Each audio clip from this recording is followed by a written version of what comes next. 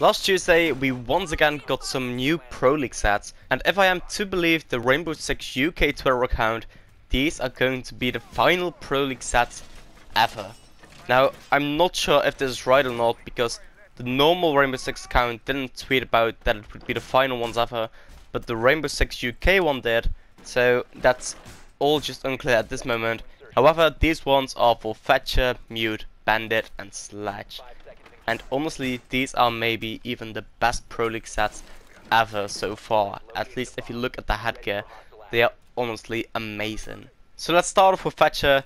He has the Eventide Ray uniform, the Double Sun headgear, the Revolting Vortex skin for the AR-33 and the Pro Thatcher Chibi. And this headgear especially is somewhat of a weird one, but in a way I do like it. I am not going to pick it over as Elite, but it's very nice. Moving on, we have Mute. He also has the Eventide Ray uniform, the Cosmic Decimation headgear, the Revolving Vortex skin for the M590A1, and of course the Pro Mute Chibi.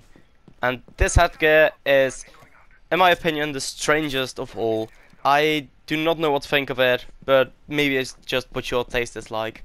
The next one is Bandit, which is, in my opinion, by far the best skin that we have in this set.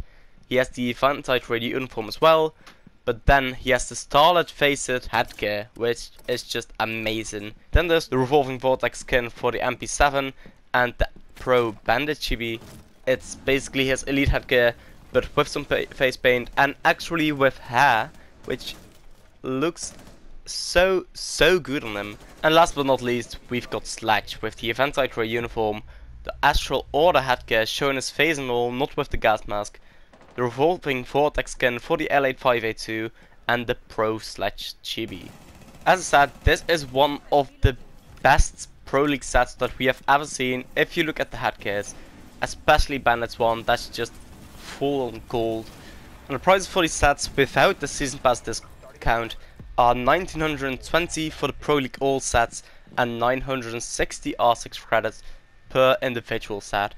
So if you do like three sets of these, or maybe four, it is way cheaper to buy the all sets, which in my opinion, I always encourage.